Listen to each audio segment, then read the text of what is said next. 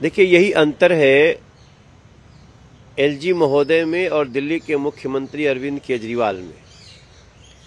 अरविंद केजरीवाल के घर के रेनोवेशन पे 45 करोड़ रुपया खर्चा होना किसी के भी न गले उतर रहा है, न तो नैतिक रूप से सही है, लेकिन इसके बाद भी वो घर का दरवाज़ा लोहे की जंजीरों से बंद करा के पुलिस लगा दिए हैं।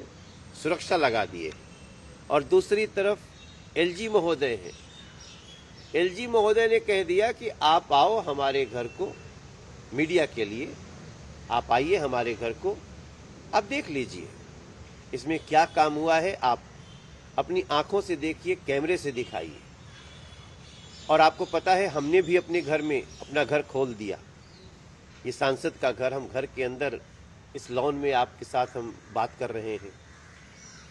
तो ये भारतीय जनता पार्टी का सांसद है और वो नरेंद्र मोदी सरकार में एक राज्य के जो यूनियन टेरिटरी है, उसके एलजी हैं, दूध का दूध, पानी का पानी स्पष्ट है। अगर सत्य के राह पे हैं अरविंद केजरीवाल तो वो भी जैसे एलजी साहब बोले, अपना घर खोल करके दिखा दें, सारा मामला ही खत्म हो जाएगा जी, वहीं sir, Karnataka uniform civil code लागू करने की बात कर रहे हैं, नड्डा जी, जो कही है बड़ी बात। देखिए, uniform civil code Bharatiya Janata party शासित कई प्रदेशों में लागू किया गया है और कर्नाटक में इसका होना बहुत आवश्यक भी है, जिसको भारतीय जनता पार्टी ने अपने संकल्प पत्र में लिया है, जो विजन डॉक्यूमेंट है। और मुझे लगता है कि कर्नाटक में यूसीसी का लागू होना एक बहुत बड़ी बात होगी जिससे कर्नाटक की जनता को कर्नाटक के आम लोगों को कर्नाटक के वासियों को बहुत फ़ायदा होने वाला है। जी आ, वहीं इसके साथ सर प्रियंका गांधी पहुँची तो एक कैंपेन चलाई जा रही है। क्राई पीएम पे सीएम एक स्कैन है उस पर फ़ोटो लगाकर पीएम की। इस तरीके की बात कर रहे हैं कि पीएम जो है रोकर बता रहे हैं लोगों को बता रहे हैं मुझे गाली दे रहे हैं इस तरीके देखिए, कांग्रेस हमेशा अपना चाल चरित्र छुपा के रखती है। खड़गे साहब ने खुले मंच से नरेंद्र मोदी जी को गाली दिया। और नरेंद्र मोदी जी को गाली कर्नाटक बर्दाश्त नहीं कर सकता।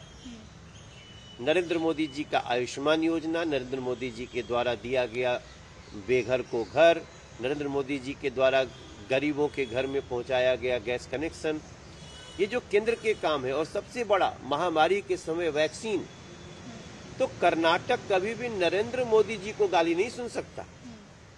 और खड़गे जी जो अध्यक्ष हैं कांग्रेस के, उन्होंने गाली दे करके कांग्रेस का पूरा चाल चरित्र का पर्दाफाश कर दिया है। अब चूँकि वो जहाँ जा रही हैं, प्रियंका जी जाए या कोई कांग्रेस आपने पीएम को गाली क्यों दिया? जो गरीबों का जीवन बना हुआ है, गरीबों का मसीहा बना हुआ है, आप उसको जहरीला सांप की संज्ञा क्यों दिए? तो इसका मतलब कि जो जनता की सेवा करेगा, उसको कांग्रेस सांप कहेगी तो जनता कांग्रेस को ही समझेगी इस तरह के चाल चरित्र में। और मेरा पूरा विश्वास है कि जो गाली दिए हैं, चाहे लाख कोशिश कर दें, अब कांग्रेस का पूरा चरित्र स्पष्ट हो गया है। ये गालीबाज पार्टी है।